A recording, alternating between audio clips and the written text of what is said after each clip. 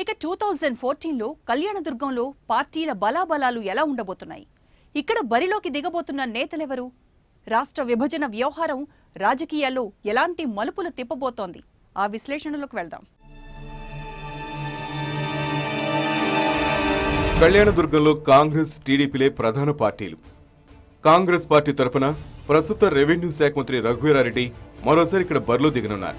పార్టీకి బలమైన కేడర్ ఉండటం రఘువీరాకు కలిసి వచ్చే అంశం. మంచి పోర్ట్ఫోలియో రావడంతో రెవెన్యూ డివిజన్ ఏర్పాటుతో పాటు పలు అభివృద్ధి పనులు చేశారు.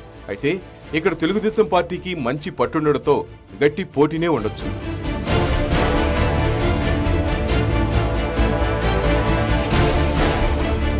ఇక తెలుగుదేశం పార్టీ తరపున గత ఎన్నికల్లో పోటీ చేసి ఓడిపోయిన హనుమంతరాయ చౌదరి ఈసారి కూడా బరిలోకి దిగే ఛాన్స్ అధికంగా ఉంది.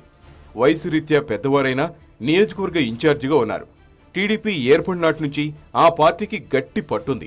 ఇటీవల జరిగిన సింగిల్ విండో పంచాయతీ ఎన్నికల్లో ఆ పార్టీ తన సత్తా చాటి మంచి ఊపు మీద ఉంది ఇక వైసీపీ ఉన్నా పార్టీని నడిపించేవారే లేరు. ఇన్ఛార్జిగా ఉన్న ఎల్లా మోహన్ రెడ్డిపై ఆ పార్టీ వారే ఇటీవల దాడి చేశారు. దీంతో ఆయన నియోజకవర్గానికి రావడమే మానేశారు. ఇక మత్తన్న తదితరులున్నా వీరికి నియోజకవర్గాన్ని ప్రభావితం చేసేంత స్థాయి లేదు. పార్టీ పరిస్థితే గందరగోళంగా ఉండడంతో ఇక ఎన్నికల్లో ఏం సత్తా చూపిస్తుందని నేతలే వ్యాఖ్యానిస్తున్నారు.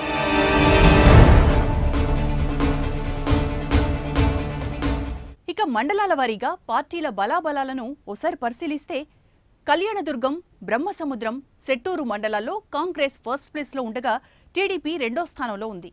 ఇక కంబదూరు కుందుర్పి మండలాల్లో టీడీపీ కాంగ్రెస్ ఆధిపత్యం కోసం పోరాడుతున్నాయి. ఇక అన్ని మండలాల్లో వైసీపీ పరిస్థితి నామమాత్రమే.